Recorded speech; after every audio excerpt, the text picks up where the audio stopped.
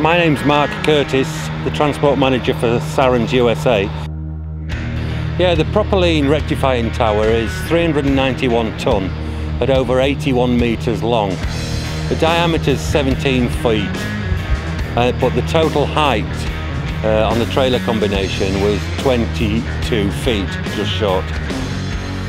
The equipment we chose was uh, the split K25 trailers that was uh, permittable with the permitting authorities for the width and the length and the amount of axles that was allowable for us to do the full route.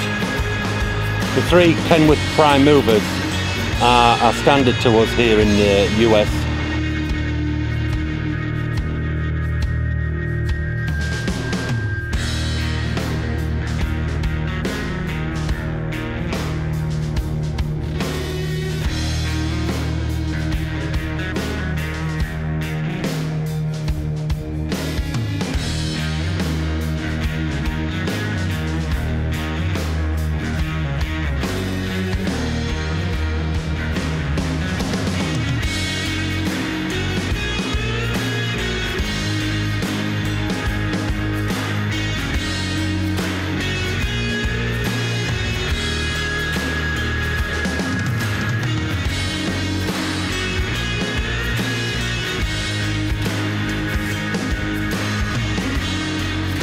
We're here in Port Arthur about to offload the propylene uh, rectifying vessel that's bound for a, uh, a plant in Port Arthur approximately six miles, seven miles from here.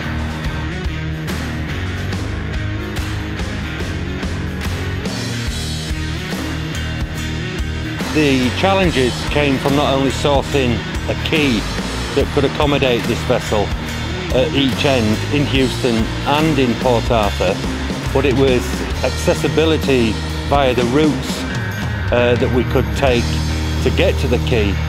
Uh, the utilities, the police, the permitting office was all involved and it took over five months to source a route to the quay in Houston and from the quay in Port Arthur here in Texas.